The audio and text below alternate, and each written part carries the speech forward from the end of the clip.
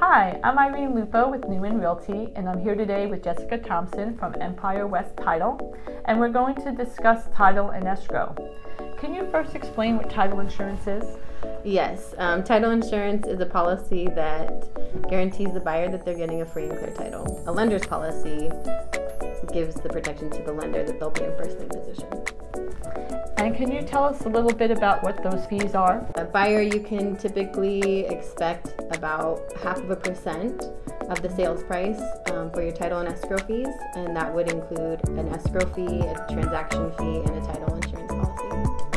Okay, well, thank you so much. That's some great information. And if you have any further questions, feel free to reach out to myself or to Jessica. Our information will be below the video. And as always, for all your real estate needs, I will guide and educate you every step of the way. Thank you and have a great day.